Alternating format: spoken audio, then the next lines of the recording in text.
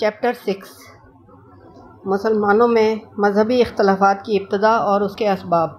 خلافت راشدہ کا زوال جن حالات نے اور جن اسباب سے ہوا، ان کے نتائج میں سے ایک اہم نتیجہ یہ بھی تھا کہ امت مسلمہ کے اندر مذہبی اختلافات رونما ہو گئے۔ پھر ان اختلافات کو جس چیز نے جمنے اور مستقل فرقوں کی بنیاد بننے کا موقع دے دیا۔ وہ بھی اس کے سوا کچھ نہ تھی کہ نظام خلافت اپنی اصلی شکل پر قائم نہ رہا تھا، کیونکہ ملوکیت کے نظام میں سرے سے ایسا کوئی با اختیار اور معتمد علیہ ادارہ موجود ہی نہ تھا، جو اختلافات کے پیدا ہو جانے کی صورت میں ان کو بر وقت صحیح طریقے سے حل کر دیتا۔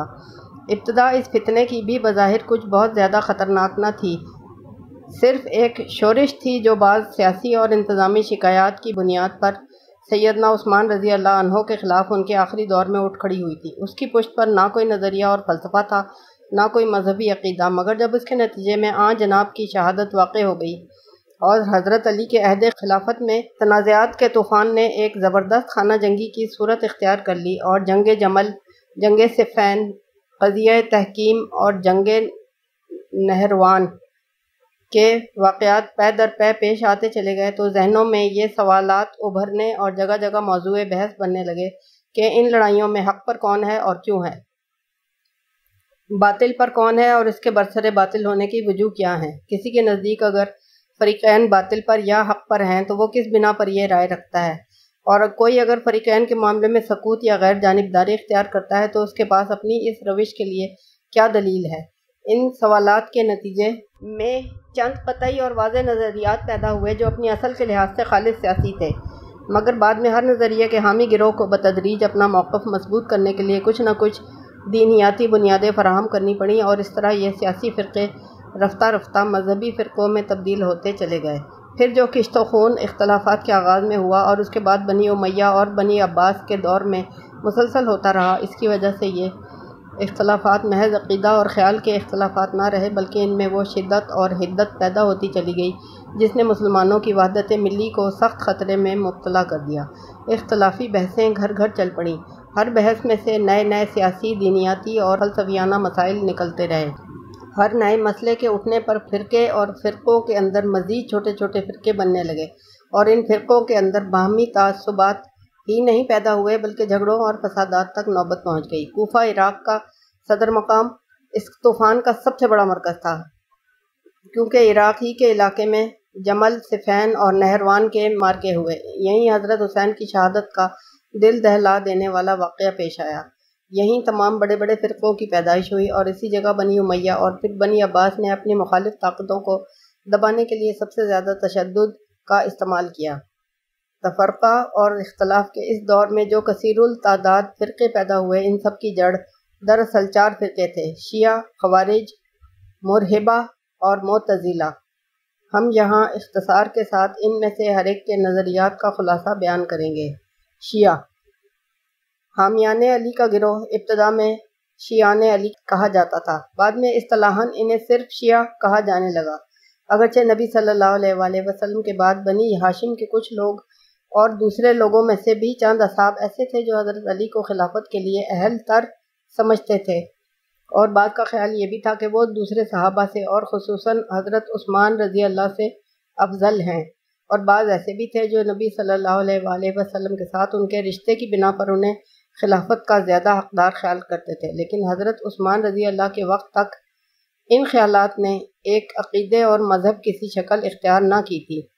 اس طرز خیال کے لوگ خلفائے وقت کے مخالف بھی نہ تھے، بلکہ پہلے تینوں خلفاء کی خلافت تسلیم کرتے تھے۔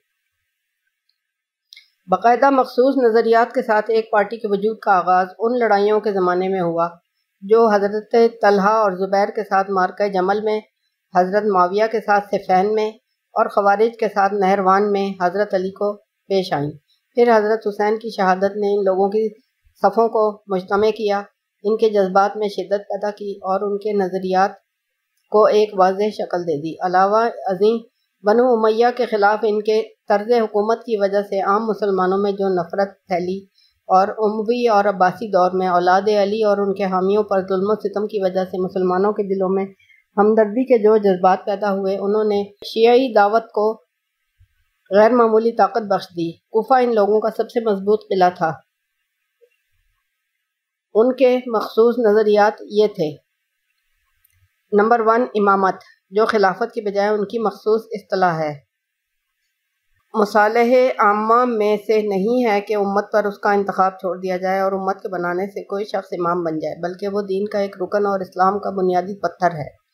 اور نبی کے فرائض میں سے یہ ہے کہ امام کا انتخاب امت پر چھوڑنے کی بجائے خود بحکم سریح اس کو مقرر کرے۔ نمبر دو، امام کو معصوم ہونا چاہیے۔ یعنی وہ تمام چھوٹے بڑے گناہوں سے پاک اور محفوظ ہو۔ اس سے غلطی کا صدور جائز نہ ہو اور ہر قول اور فعل جو اس سے صادر ہو، برحق ہو۔ نمبر تھری، حضرت علی وہ شخص ہیں جن کو رسول اللہ صلی اللہ علیہ وآلہ وسلم نے اپنے بعد امام نامزد کیا تھا اور وہ بر بنائے نس امام تھے۔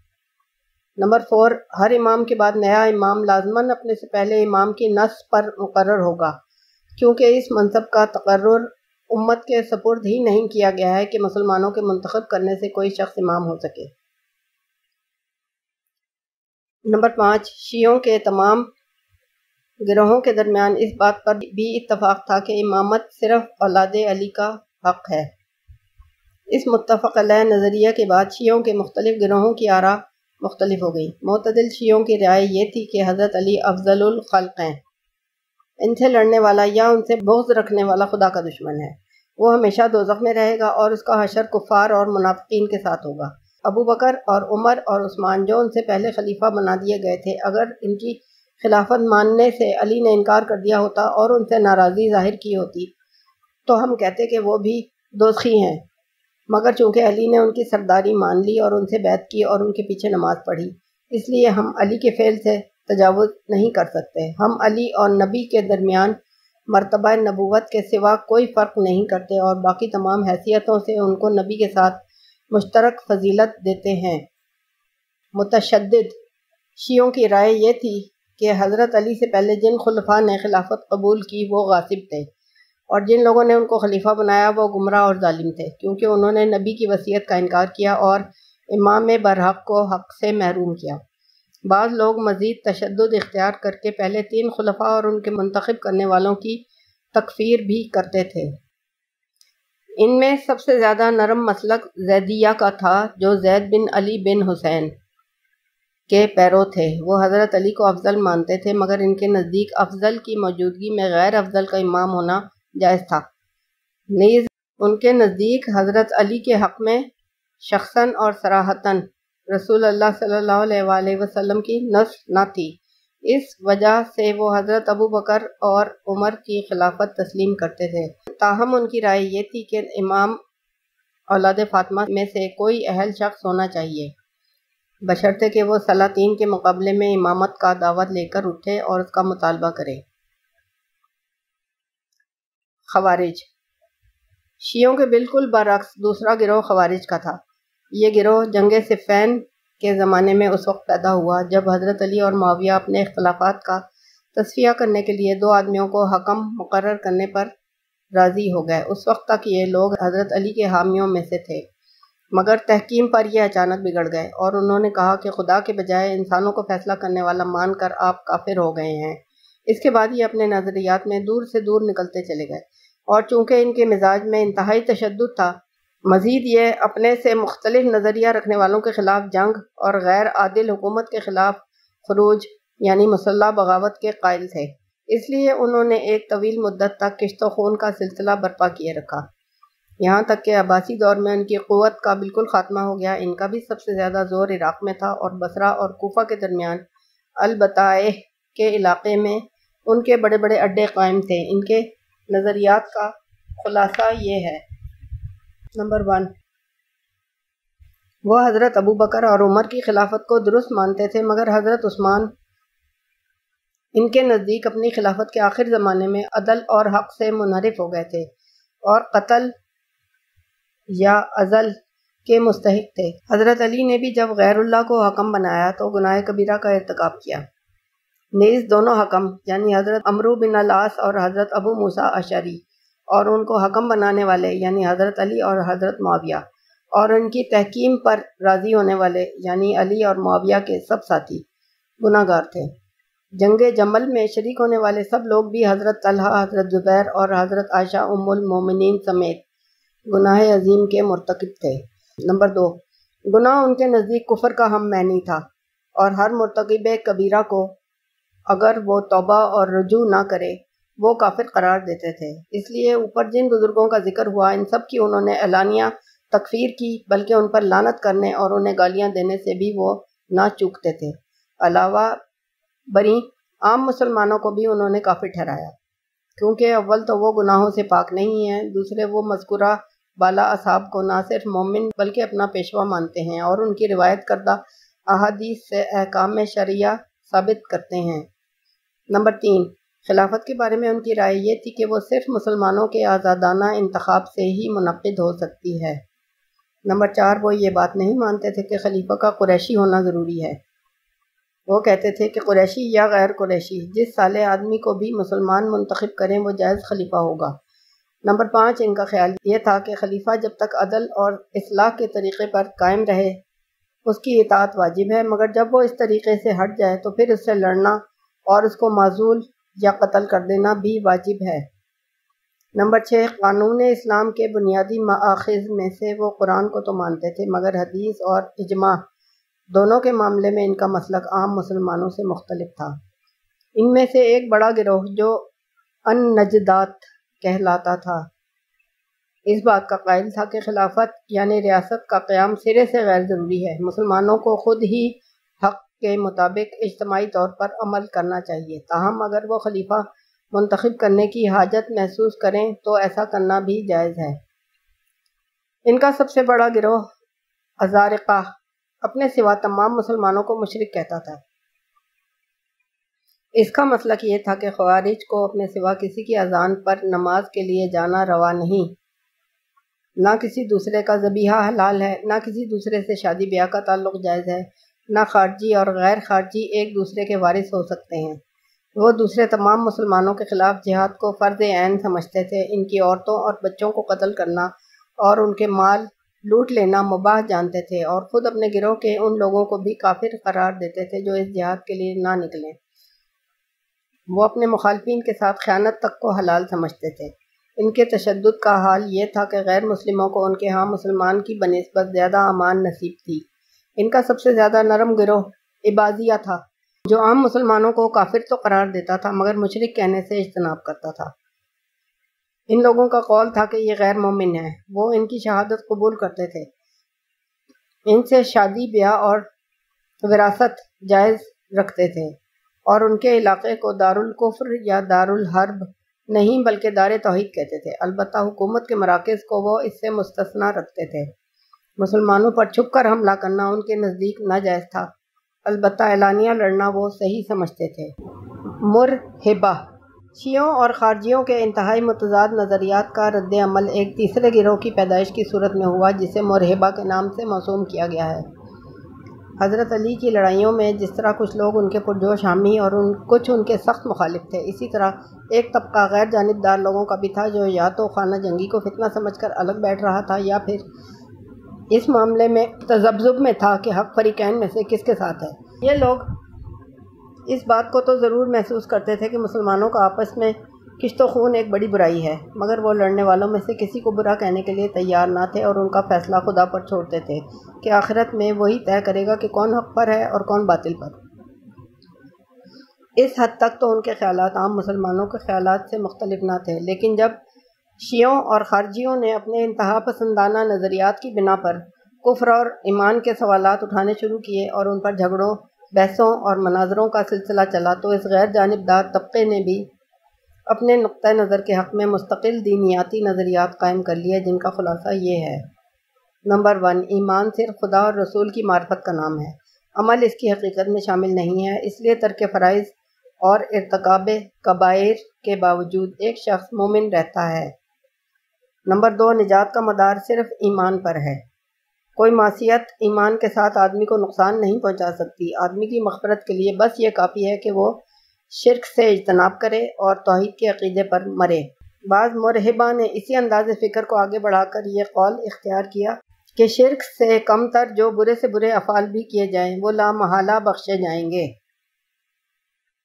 اور بعضوں نے اس سے بھی ایک قدم آگے بڑھ کر کہا کہ آدمی اگر دل میں ایمان رکھتا ہو اور وہ دارالاسلام میں بھی جہاں کسی کا خوف نہیں، زبان سے کفر کا اعلان کرے، یا بت پوجے، یا یہودیت، یا نصرانیت میں داخل ہو جائے، پھر بھی وہ کامل الایمان اور اللہ کا ولی اور جنتی ہے۔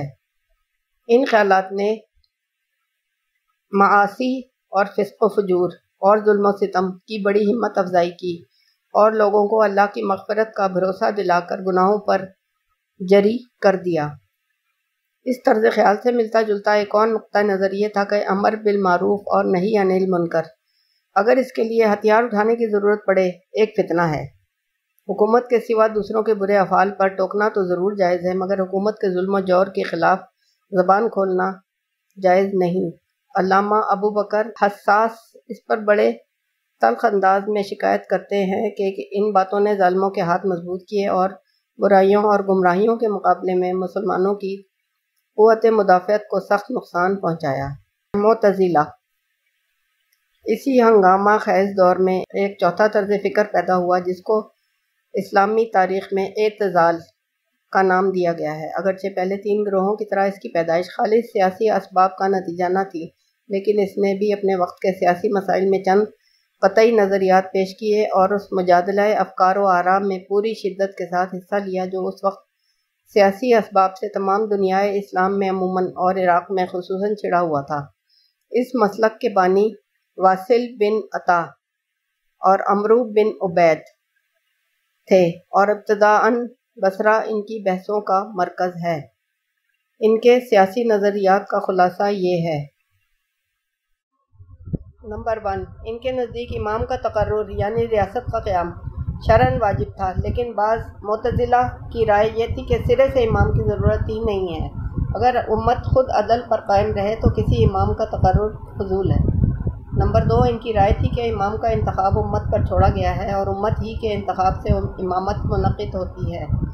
بعض معتزلہ اس پر مزید شرط یہ لگاتے تھے کہ امامت کے انعقاد کے لیے تمام امت کا اتفاق ہونا چاہیے۔ اور فتنہ اور اختلاف کی حالت میں امام کا تقرر نہیں کیا جا سکتا۔ نمبر تین، ان کا قول تھا کہ امت جس صالح اور اہل مسلمان کو چاہے امام منتخب کر سکتی ہے۔ اس میں قریشی اور غیر قریشی یا عربی اور اجمی کی کوئی قید نہیں۔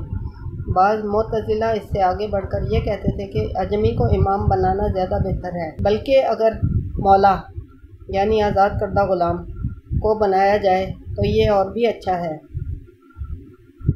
کیونکہ اگر امام کے حامی زیادہ نہ ہوں تو ظلم و جور کی صورت میں اسے ہٹانا زیادہ آسان ہوگا۔ گویا حکومت کے استحکام کی بنسبت انہیں زیادہ فکر اس بات کی تھی کہ حکمران کو معذول کرنے میں سہولت ہو۔ نمبر فور، ان کی رائے میں فاجر امام کے تحت جمعہ اور نماز جائز نہ تھی۔ نمبر پانچ، ان کے بنیادی اصولوں میں سے ایک امر بالمعروف اور نہیں انل منکر بھی تھا۔ وہ عدل اور راستی سے ہٹ جانے والی حکومت کے خلاف خروج یعنی بغاوت کو واجب سمجھتے تھے، جبکہ ایسا کرنے کی قدرت حاصل ہو اور کامیاب انقلاب برپا کیا جا سکتا ہو۔ چنانچہ اسی بنا پر انہوں نے عموی خلیفہ ولید بن یزید کے خلاف بغاوت میں حصہ لیا اور اس کی جگہ یزید بن ولید کو برسر اقتدار لانے کی کوشش کی، کیونکہ وہ مسلک اعتزال میں ان کا ہم خیال تھا۔ نمبر چھ، خوارج اور مرحبہ کے درمیان کفر اور ایمان کے معاملے میں جو جدال برپا تھا، اس میں انہوں نے اپنا فیصلہ یہ دیا کہ گنہگار مسلمان نہ مومن ہے نہ کافر، بلکہ بیچ کی ایک حالت پر ہے۔ ان نظریات کے علاوہ ان لوگوں نے صحابہ کے اختلافات اور پچھلی خلافتوں کے مسئلے میں بھی بے باکانہ اپنے فیصلے صادر کیے۔ واصل بن عطا کا قول تھا کہ جنگ جمل اور جنگ صفین کے فریقین میں سے کوئی ایک گروہ فاسق تھا۔ مگر یقین کے ساتھ نہیں کہا جا سکتا کہ کون سا فریق فسق کا مرتکب ہوا تھا۔ اسی بنا پر وہ کہتا تھا کہ اگر علی رضی اللہ اور طلحہ رضی اللہ اور زبیر رضی اللہ میرے سامنے ترکاری کی ایک گٹھی پر بھی گواہی دیں تو میں قبول نہ کروں، کیونکہ ان کے فاسق ہونے کا احتمال ہے۔ امرو بن عبید کی رائے تھی کہ فریقین فاسق تھے۔